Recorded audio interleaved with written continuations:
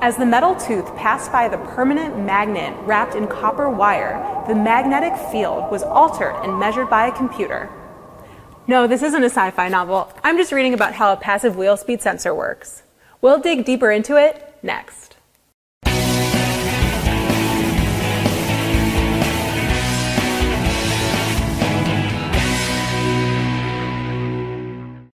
If you're replacing a wheel bearing on a late model vehicle, you'll most likely be dealing with a wheel speed sensor.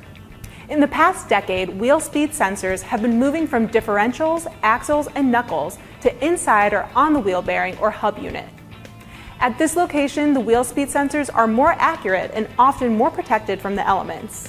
Most vehicles in use today use two types of wheel speed sensors passive sensors, otherwise known as variable reluctance sensors, or active sensors, aka magneto-resistive sensors.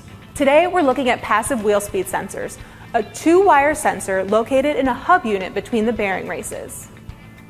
These sensors are usually mounted at a specific gap in a reluctor ring.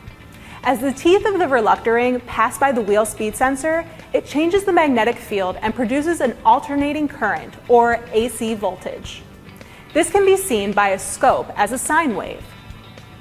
With an increase in the speed of the reluctor ring, the voltage signal will increase in amplitude.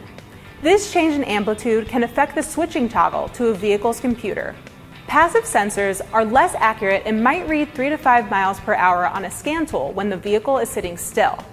They're still used on the rear of some vehicles, while active wheel speed sensors will be more accurate and detect wheel movement at much lower speeds.